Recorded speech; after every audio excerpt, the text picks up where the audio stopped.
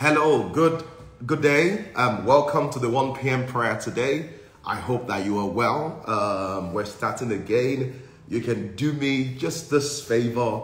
Help me share with your friends and let them know they were alive. You know, let them know they were alive. We're starting again. Glory and glory and glory and glory and glory and glory and glory and glory and glory and glory and glory.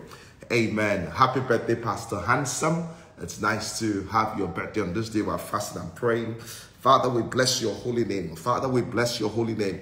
Father, we bless your holy name. Hallelujah. Tell me your name. Tell me where you're joining from. Tell me your name. Tell me where you're joining from. This morning prayer was just phenomenal. Tell me your name. Tell me where you're joining from. It's nice to see everyone online. It's nice to see Bukumi. It's nice to see Pastor Landry. It's nice to see Spiral right there online. It's nice to see Harvesters Birmingham online. Help me share with your friends and let them know that we're praying together at this time. Let them know that we're praying together at this time. It's nice to see Pastor Dayo online. Glory to God. Hallelujah. We just first of all want to thank God. And let me say this before we pray today.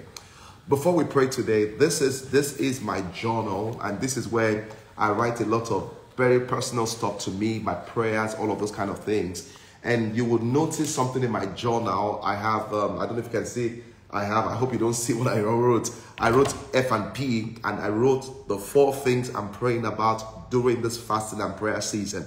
I'm praying the four things I'm praying about during this fast and prayer season.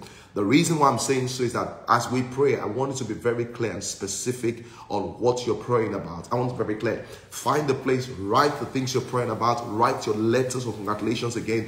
If you've written them before, you can update it. There are some things that have happened, you can take them out. You can rewrite another letter of congratulations again. Glory and glory and glory and glory. Hallelujah, hallelujah, hallelujah. The Bible says, I will sing of the mercies of the Lord forever. Hallelujah. I want you to thank God and say, Father, thank you. This morning, was very powerful for me as a person. I broke down, I said crying when I was in prayer this morning because he just hits me. And even as I speak about it, he's hitting me in a special way.